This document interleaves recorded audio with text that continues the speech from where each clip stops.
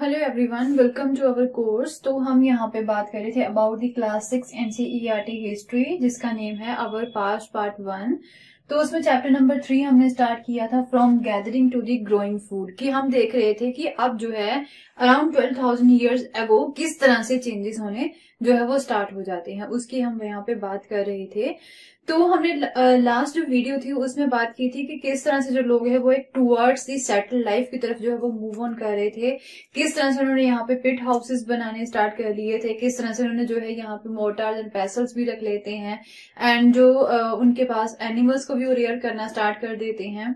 अपने घरों के आसपास रख लेते हैं एंड क्रॉप्स जो है वो ग्रो करते हैं। एंड अब जो उन क्रॉप्स को ग्रो करने के बाद में किस तरह से उन क्रॉप्स को वो स्टोर करते हैं, ये चीज़ें हमने जो है अपने लास्ट लेसन में कवर की थी ओके अब हम यहाँ पे कंटिन्यू करेंगे इसी चीज़ को ही।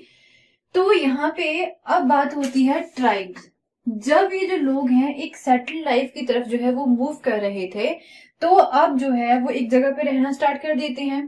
तो यहाँ पे कई ग्रुप्स जो होते हैं मीन कई घर जो है वो बन जाते हैं एक जगह पे, एक विलेज में या फिर छोटे से टाउन में तो उसमें जो है, इस बुक में, ये जो हिस्ट्री के एनसीईआरटी की बुक है, एक छोटे से बॉक्स में जो है ट्राइब्स जो होती हैं ओके okay? जो ट्राइब्स होती हैं, उनकी डेफिनेशन बताई हुई है कि ट्राइब्स जो होती हैं, जो कि लोग एक जगह पे रहते हैं एंड जो है, एक एक तरह से हम बोल सकते हैं कि वो फैमिलीज़ ही होती हैं, सारे रिलेटिव्स ही होते हैं मोस्टली उस विलेज में तो वो जो है ट्राइब्स बनती हैं टू टू थ्री जनरेशन जो होती हैं जो कि एक जगह पे रह रहे होते हैं एंड वो उसमें जो है जितने भी जो घर होते हैं मोस्टली जो है वो आपस से एक दूसरे के साथ उनका कोई रिलेशन होता है।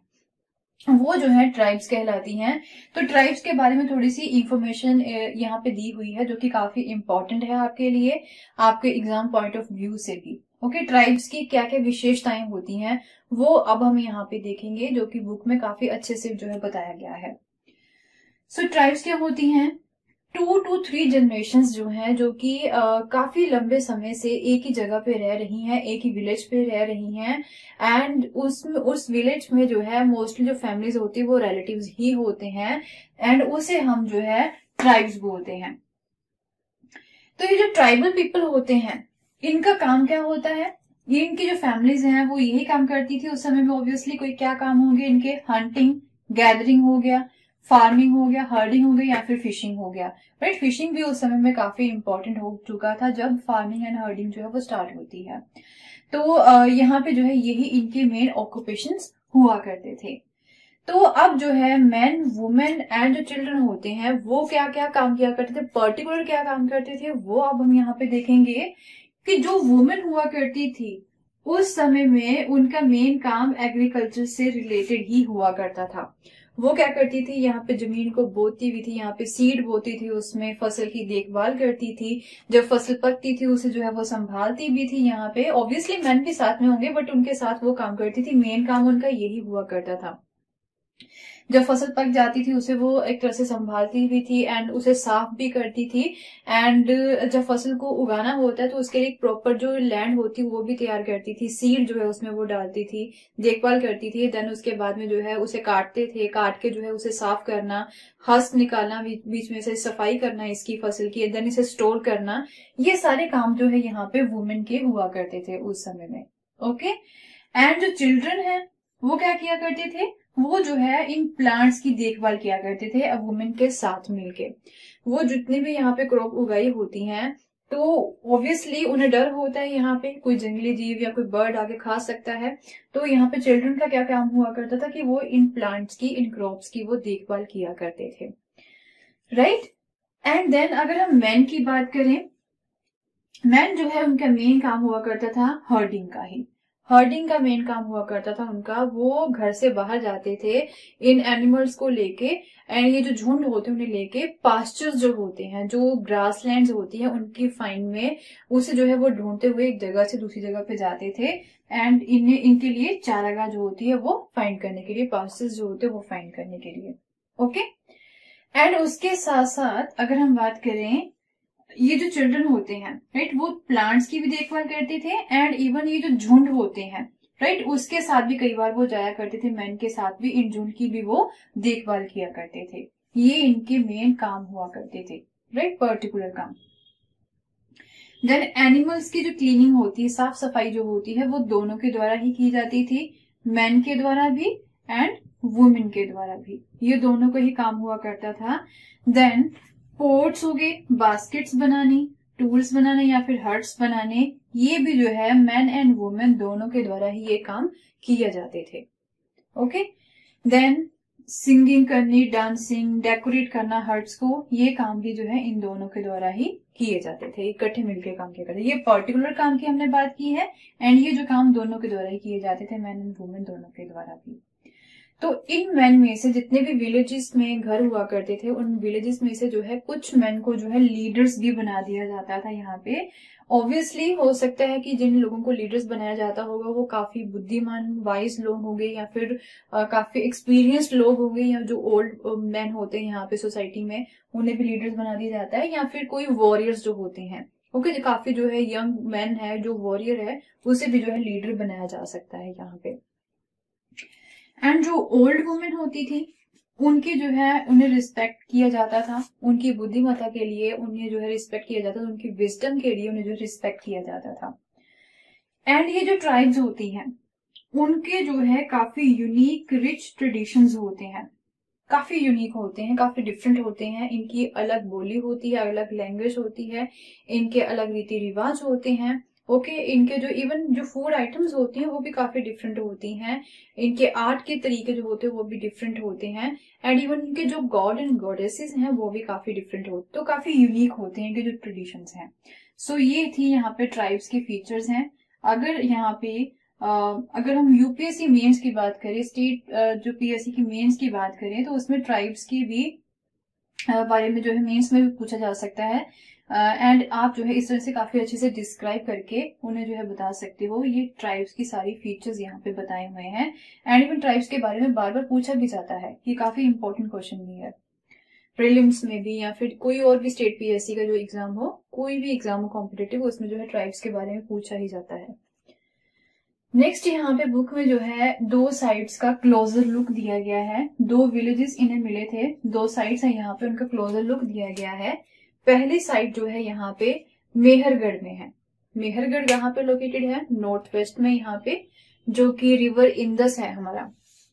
रिवर इंदस नॉर्थ वेस्ट में जो रिवर इंदस है राइट उसके आसपास ये लोकेटेड है बोलन पास के आसपास है ये लोकेटेड ओके तो ईरान का जो है, ईरान का जो गेट वे है ये बोलन पास जो है, ईरान को जाने के लिए गेट वे हम बोल सकते हैं। तो वहाँ पे ये साइड जो है वो लोकेटेड है मेहरगढ़।